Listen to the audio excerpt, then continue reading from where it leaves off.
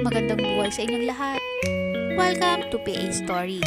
Kung bago ka pa lang sa channel ko, please like, subscribe, and hit the notification bell for daily updates. Maraming salamat po sa inyong pakikinig. Sorry, wika ni Debbie. Mabilis niyang pinahid ang luha niya sa kanyang mga mata at lumayo kay Kenneth. It's okay, sagot nito.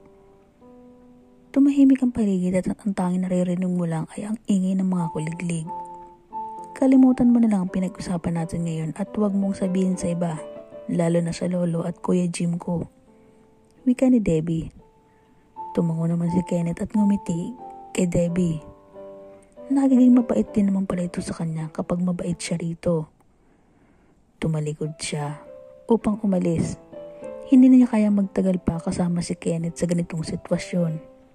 Good night. Mag-ingat ka sa daan. Dinukot ni Debbie ang susi ng kotse niya at ibinigay ito kay Kenneth nang nakatalikod na siya. Gamitin mo muna ito para mabilis kang makauwi at makarating bukas kapag umalis tayo. Wika ni Debbie. Naramdaman niyang kinuha ni Kenneth ang susi ng kotse dahil sa pagdikit ng kanyang kamay sa balat nito.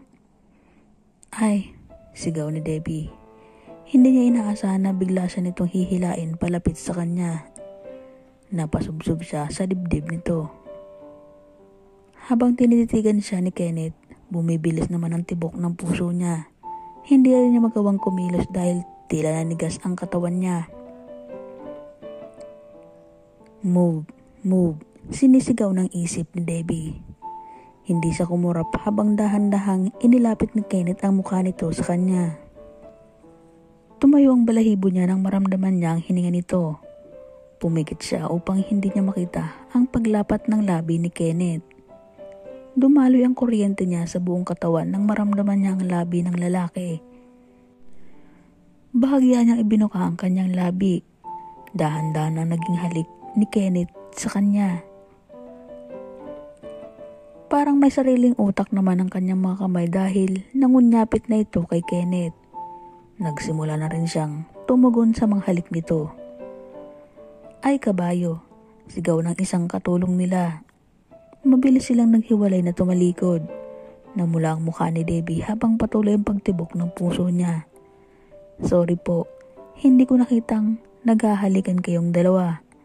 Wika ng katulong. Napangiwi naman si Debbie sa sinabi ng katulong nila. Umalis ka na dahil baka kapag nainis ako ay mawalan ka ng trabaho. Wika niya. Yes, ma'am. Pasensya na po. Wika nito. Good night. Dire-diretsong pumasok si Debbie sa loob ng bahay nang hindi nilingon si Kenneth. Sinarado niya ang pinto ng kanyang silid at sumandal siya sa likod ng pintuan. Kinapa niya ang dibdib niya. Anong nangyayari sa akin? Wika niya sa sarili. Hindi kasi niya may paliwanag ang kalabog ng kanyang dibdib. Humiga siya sa kama at pumikit ngunit sa tuwing nakapikit siya, ang eksena nilang dalawa ang pumapasok sa isip niya. Hais, patulogin mo na ako. Inis na wika niya sa sarili. Mahigit dalawang oras na kasi siyang nakahiga sa kama, ngunit hindi pa rin siya dinadalaw ng antok. Maaga pa naman silang aalis papuntang probinsya. Nagdesisyon siyang bumangon at pumunta ng kusina para magtimpla ng gatas. Nang bumaba siya, ang tanging naging ilaw na lang niya ay ang flashlight ng kanyang cellphone. Hindi na siya nag-atubili na buksan ang ilaw sa sala. Binuksan niya ang ilaw sa kusina ngunit nagulat sa nakita niya. Sorry, nagulat kita. Nakita kasi niya si Kenneth sa kusina. Wala itong suot na pang itaas at lumantad sa kanya ang matipuno nitong dibdib. Ang abs at lapad ng katawan niya ang dahilan kung bakit siya nataranta. Hindi naman bago sa kanya makakita ng ganitong katawan ngunit bakit kay Kenneth? Parang natatakot siyang tingnan ng diretso. Okay lang. Wika ni Debbie. Tinatambol ang puso niya nang lumapit siya rito. Nagtitimpla rin kasi to ng gatas. Nakadagdag pa sa kaba niya ang hindi sinasadyang pagdampi ng kanilang balat. Aalis na ako. Wika ni Debbie na makapagtimpla siya ng gatas. Sandali lang. Tawag ni Kenneth. Huwag kang hihinto, self. Wika niya sa sarili. Namalaya na lang niyang huminto siya at slow motion na tumingin kay Kenneth na nakangiti sa kanya. Hindi ka pa rin ba dalawin ng antok? Tanong nito. Tumango naman siya. Iya, ang dami ko kasing kinain kaya hirap akong makatulog. Alibay ni Debbie. Pareho pala tayong dalawa. Magkwentuhan muna tayo habang inuubos ang gatas natin. Wika ni Kenneth. Tumango naman siya at lumapit kay Kenneth. Nakaupo silang dalawa na magkaharap. Hindi tuloy siya makatingin ng maayos dito. Bakit ka pala nandito? Tanong ni Debbie. Pinahiram kasi niya ang susi ng sasakyan dahil ang akala niya ay uwi na ito. Umuwi ako para kumuha lang ng gamit. Bago kasi ako makaalis kanina, sinasabi ni Lolo na bumalik agad ako para hindi na ako mahirapan. Tumango naman si Debbie.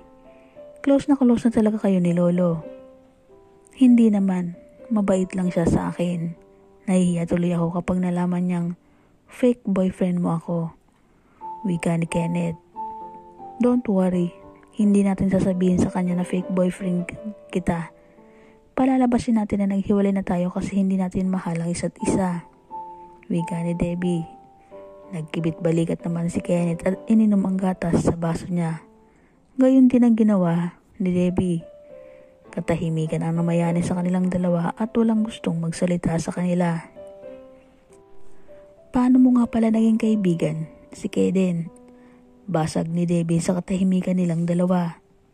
Wala na kasi siyang ibang maisip na sabihin kaya yun na lang ang tinanong niya.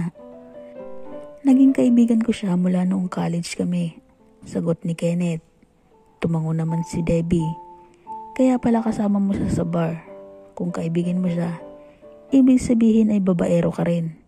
May kurot sa puso ng tanong ni Debbie. Hindi naman ibig sabihin na may kaibigan ka ng babaero ay babaero ka na rin. Bakit naman ang kaibigan mo na si Erika?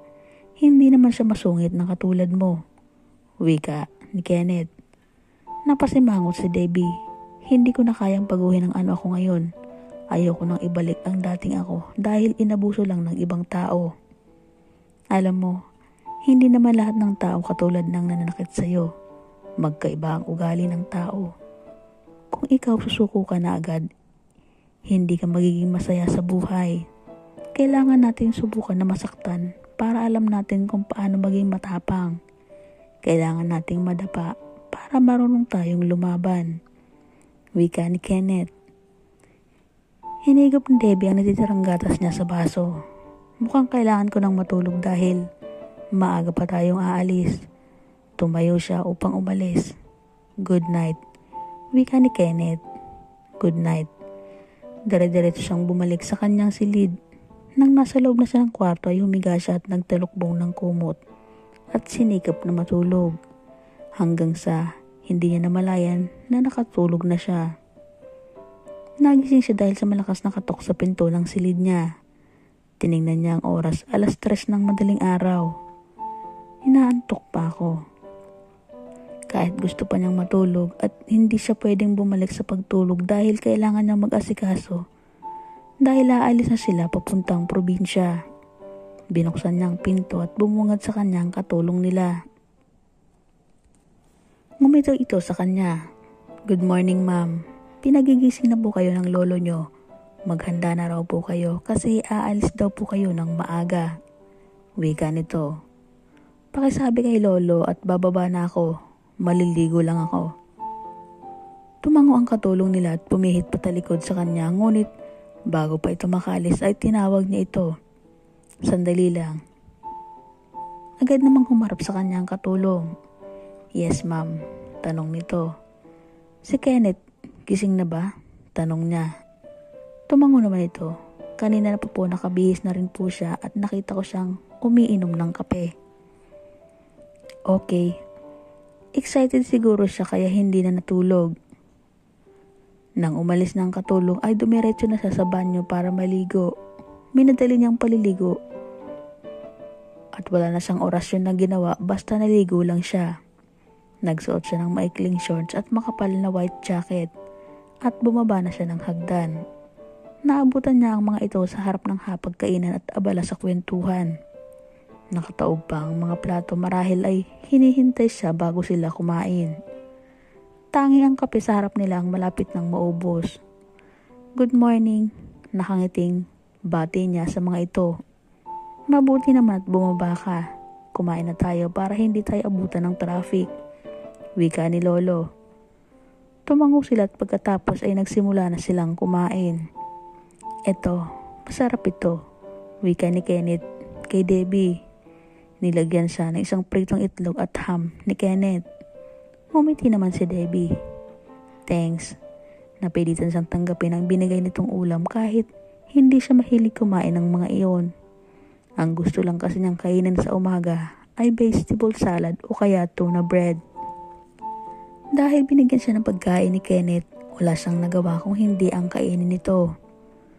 Nang matapos silang kumain ay sumakay na sila sa van at dalawang driver ang nasa unahan para magsalitan sa pagdrive sa malayong biyahe.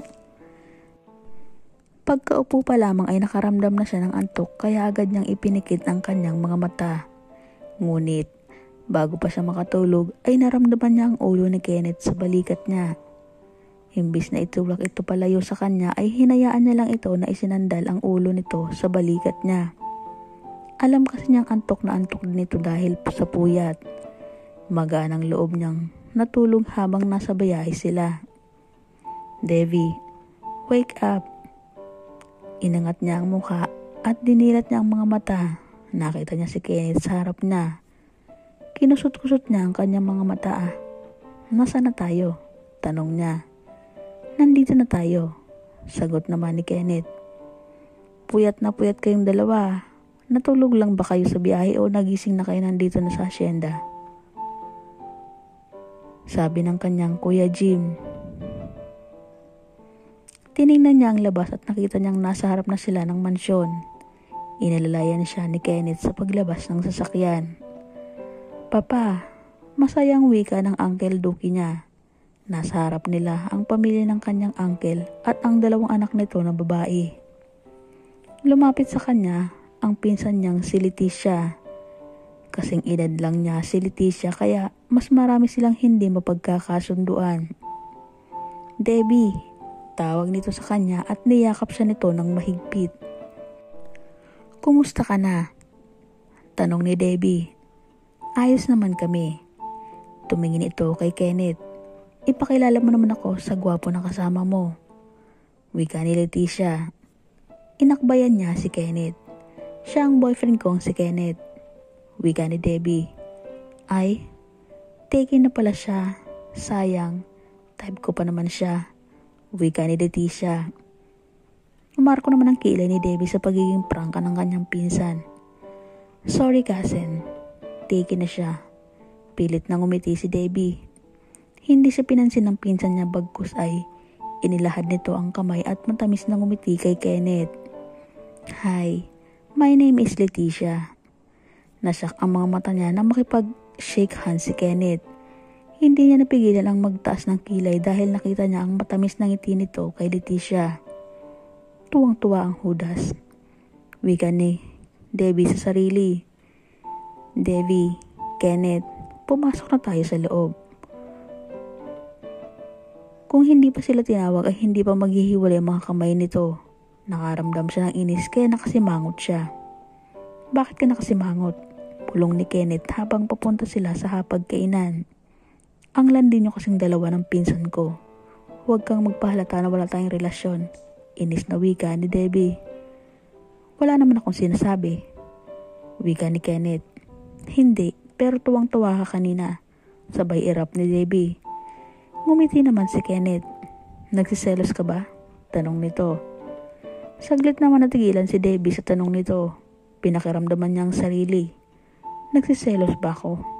Wika niya. Bakit naman ako magsiselos? Hindi ka naman mayaman. Wika ni Debbie. Paano kung naging mayaman ako? Nagsiselos ka ba? Wika niya. Hindi, dahil wala kang pag-asa na yumaman. Kung gusto mo makipaglandian sa pinsan ko, huwag sa harap ko o sa harap nila lolo. Inirapan niya ito at nauna na siyang naglakad.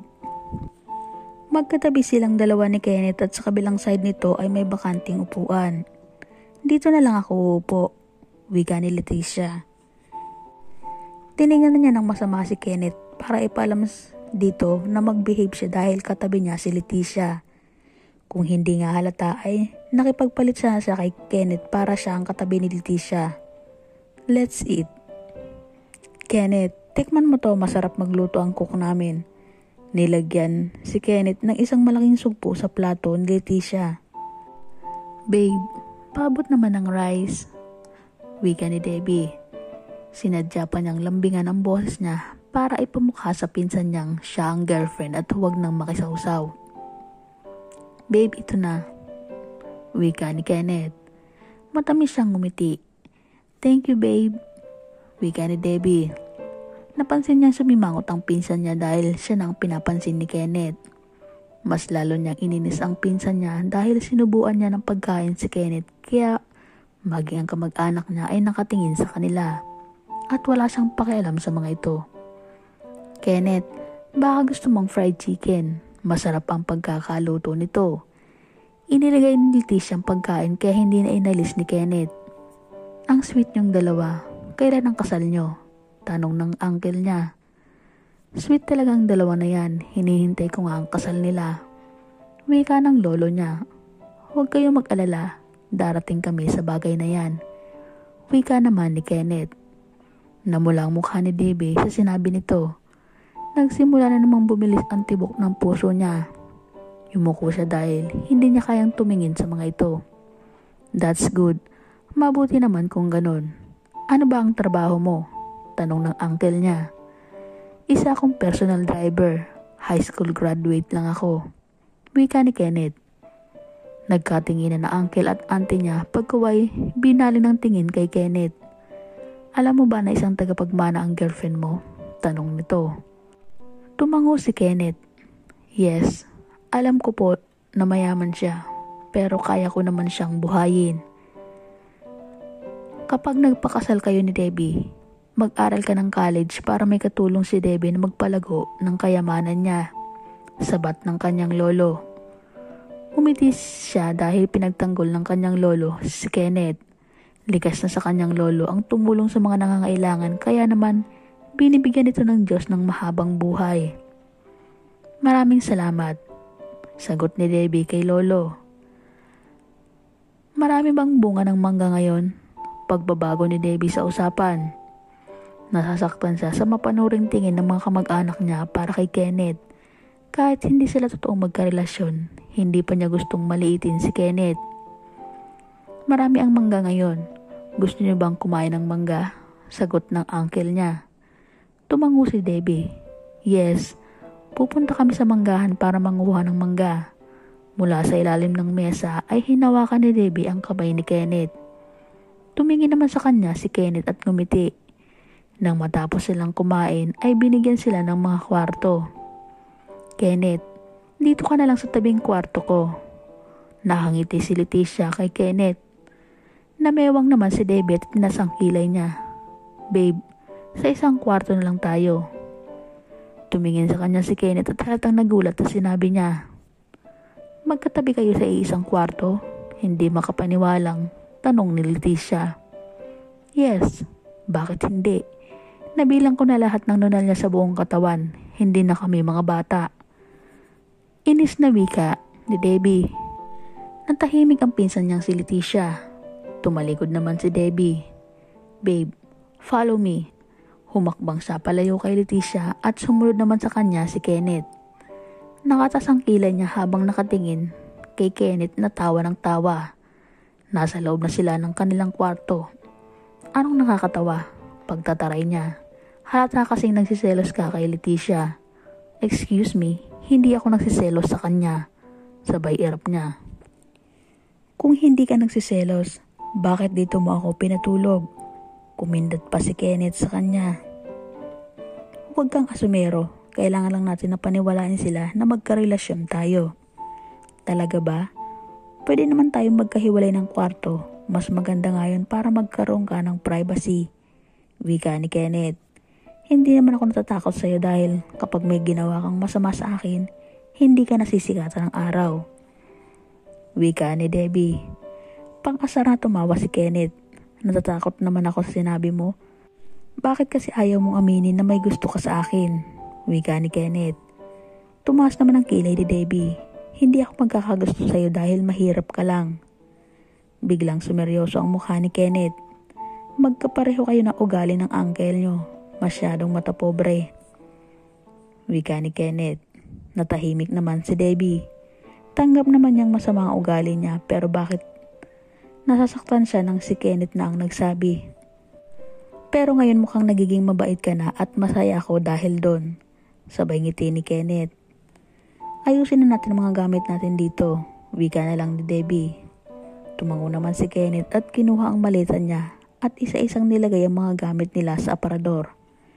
Nang matapos siya mag-ayos ng mga gamit niya, nakita niya si Kenneth na nakahiga sa kama at tulog na tulog na. Lumapit sa rito at pinagmasdan nito habang natutulog. Mukha ka palang mabait kapag tulog. Bulong ni Debbie. Makinis ang mukha nito at manipis ang labi na parang may lipstick dahil namumula. Idagdag pa ang gwapong mukha nito at macho na katawan. Kung hindi mo siya kilala, mapagkakamala mo siyang isang mayaman na tao dahil na rin sa tindig nito. Kinuha niya ang kumot at ibinalot niya kay Kenneth habang natutulog ito. Nawala na rin siya ng gana na kumuha ng mangga dahil mas gusto niyang matulog dahil na rin sa puyat niya kagabi. Humiga na siya sa tabi ni Kenneth. Nakapikit na siya ngunit hindi naman siya agad makatulog dahil kay Kenneth. Dahan-dahan niyang inilapit ang kamay niya kay Kenneth para yakapin ito. Gusto kasi niyang yakapin si Kenneth ngunit hindi niya kayang gawin ng ganun kabilis. Halos hindi na siya huminga nang yakapin niya si Kenneth. Naramdaman niya ang tibok ng puso nito ngunit kain pa may mas naririnig pa rin niya ang nakakabinging tibok ng puso niya. Nang nasanay ng mga kamay niya na nakayakap kay Kenneth ay unti-unti na siyang hinila ng antok.